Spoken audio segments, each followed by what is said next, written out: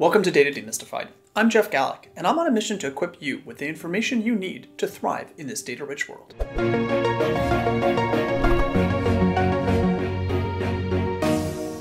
You've probably heard something like correlation doesn't imply causation. That's true, but then what does imply causation? In short, the only way to really make a causal claim is to run a randomized experiment.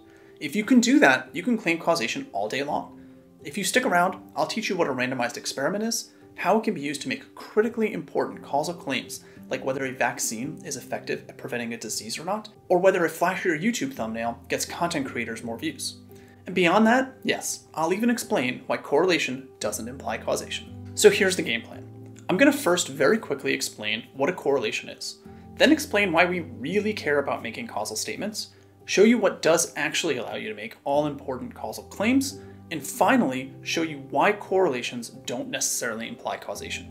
I'll do all this with as little jargon as possible and an emphasis on intuition. So let's start at the very beginning and first understand what a correlation is. In short, a correlation is just a measure of how two pieces of data move together. A correlation can be positive, like in the case of age and wealth. As people get older, they tend to also be wealthier. It's not that every single person who is wealthy is also old, but rather that these two pieces of data have a relationship with one another. If we look across all people, as age goes up, wealth also tends to go up. On the other hand, a correlation can also be negative, like in the case of air temperature and elevation. As we go higher up a mountain, air temperature tends to go down.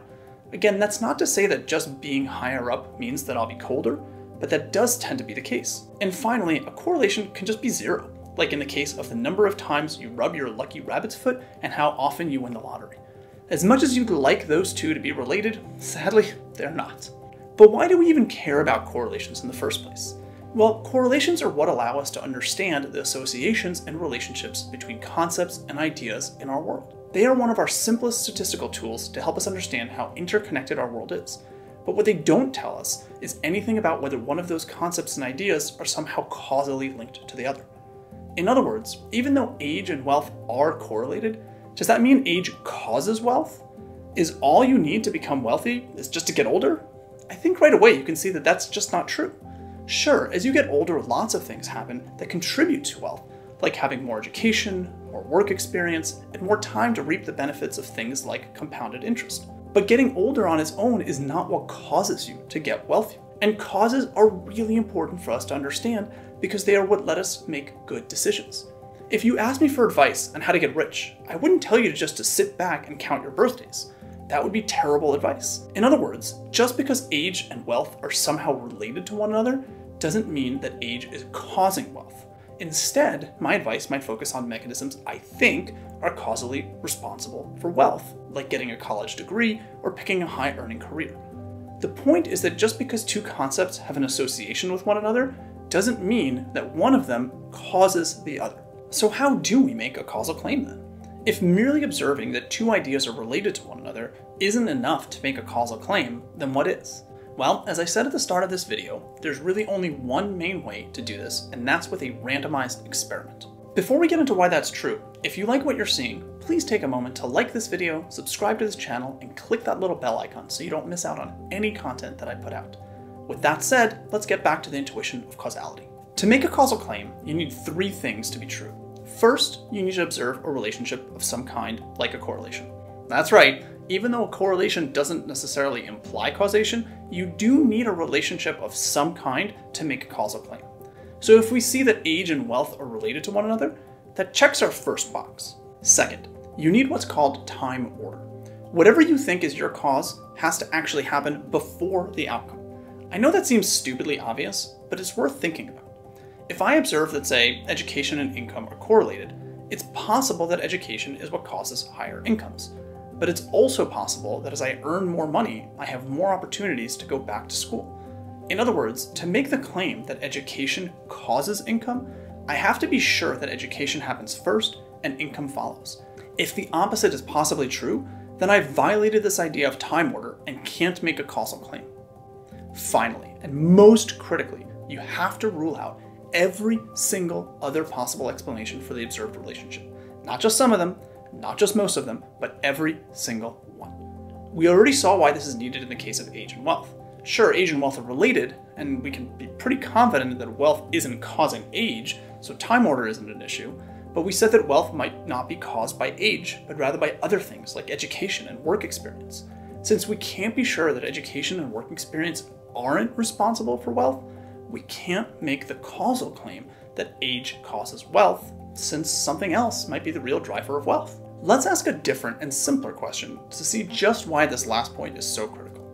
Let's say I want to know if standing desks are worth all the hype that they've been getting in terms of how beneficial they are to reducing lower back pain. Personally, I do get some lower back pain when I sit at my desk for a while, but I like to sit when I work, so I don't know what I should do.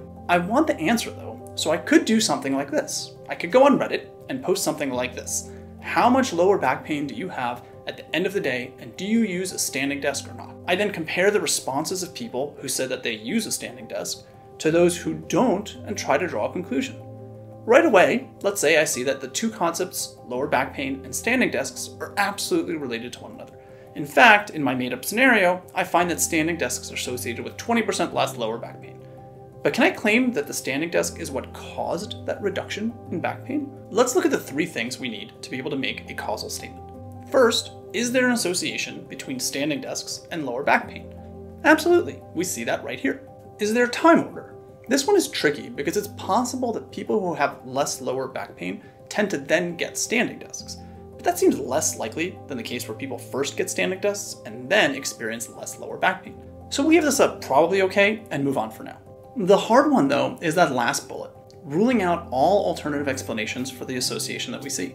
For instance, maybe people who have standing desks are just younger than those who tend to sit, and that explains why they have lower back pain. Or maybe people who have standing desks work out more, and so their muscle tone is stronger, leading to lower back pain. The point is that we have no idea if the reason that this group of people said that they have less lower back pain is because of the standing desk or because of something else altogether. And because we can't rule out every single possible alternative explanation for this relationship between standing desks and lower back pain, we cannot make a causal claim. Yes, the two concepts are related, but that doesn't mean that they are causally related. It might seem like they are, but we can't say for sure. And if we can't say for sure, then we're just guessing. And I don't want to make decisions like whether I should buy a standing desk or not just based on a guess. So let's do this better. If I really want to know if standing desks help with lower back pain, I need to conduct a randomized experiment. Sometimes this is called an A-B test, sometimes it's called a randomized controlled trial or an RCT. At the end of the day, that's all the same thing. The key is the randomized part. Instead of asking a bunch of people to tell us how their back feels and whether they use a standing desk or not, I need to randomly assign people to either use a standing desk or not, and then see how their backs feel. Let's see why this works. Imagine we have people who differ on only two possible dimensions their age and their physical fitness. In the real world, people obviously differ on a whole lot more than just this, but let's keep this example simple so you get the basic idea. Let's also assume that younger and fitter people have less lower back pain than older and less fit people, which seems like a pretty easy thing to assume. If I then gather up 20 people and ask if they have standing desks, I might find something like this. The problem is that if we want to know if the standing desk is what causes less lower back pain, I might find that the people who tend to have standing desks are also younger and fitter, which we already said is a problem for making causal statements. So instead, what I do is find a group of people who don't have standing desks already and then randomly assign them to either have a standing desk or not. I can literally flip a coin for each person, and if it comes up heads, they get a standing desk, and if it comes up tails, they don't. By doing this, what I'm ensuring is that people who are younger or fitter are just as likely to receive a standing desk as those who are older and less fit. If I then, after some time, find that the group that was randomly assigned to have a standing desk has less back pain, I can make the causal claim that standing desks reduce lower back pain. It is only after I do this randomization that I can make this claim because randomization is what allows me to rule out every single possible alternative explanation to my causal claim. In my simple example, there are only two ways in which people can differ. But in the real world, there are nearly infinite ways in which they can differ, and still, randomization allows us to rule out every one of those near infinite differences. That's because my coin flip can come up heads for absolutely any type of person, just as much as it can come up tails. So when I form my two groups, those who have standing desks and those who don't, the only thing that's different is that some of those folks had a coin land on heads and some had it land on tails. And because I determine who has a standing desk based on that coin, that is the only thing that's different about those two groups. This is exactly the technique that is used in what are called double blind vaccine trials. If I want to know if a vaccine works, I can't just ask for volunteers to get a shot and see if they get sick less than those who don't volunteer, because volunteers are likely wildly different from non volunteers. Maybe volunteers are just more cautious in general, and so they don't interact with other people as much. Maybe volunteers are younger. Maybe they live in different neighborhoods. There can be so much different that we can't tell if the reason that they don't get infected is because of a vaccine or because of the other million things that are different about them. So instead, we get a lot of volunteers, flip a coin, and give only half of them the vaccine. If those who the coin determines to get the vaccine get infected less, then our vaccine works. And that's entirely because we randomly assign people to get the vaccine or not. By the way, the double blind part is a fantastic way to ensure that our vaccine experiment doesn't have other issues like patient or doctor bias, which is a topic for another video. But in short, if you really are in such a vaccine trial, you get a shot no matter what. The coin decides if the shot is the actual vaccine or just some harmless saline. At the end of the day, half of the volunteers get the vaccine and half don't. What matters is that if this randomized vaccine experiment shows that the half of people who actually got the vaccine were less infected with whatever disease it was designed to prevent, then we can make the causal claim that the vaccine works. And critically, this is the only case where we can do so because we meet all three conditions for causal claims. There's an association between vaccination and disease infection. The vaccination happened before we tested for infection rates. And critically, because of the randomization, we can rule out every single other possible explanation for the relationship between vaccination and reduced infection rates.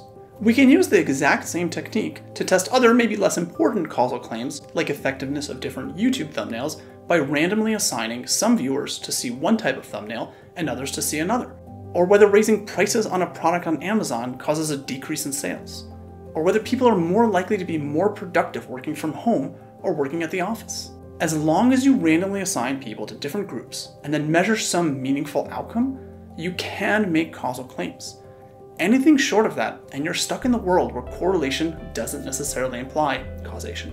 To be fair, I glossed over a few topics like ensuring that the sample size of your experiment is large enough, how to validly measure outcomes, and how to make pseudo-causal claims, ones that aren't as solid as the ones we talked about here, but maybe enough to help inform some big decisions. If these topics are ones you find interesting and want to learn more about, take a moment to comment below and I'll make sure to create content meant just for you, my viewers. Finally, if you found this video interesting, please take a moment to like the video, subscribe to the channel, and click that little bell icon so you don't miss out on any new content I put out. Thanks for watching.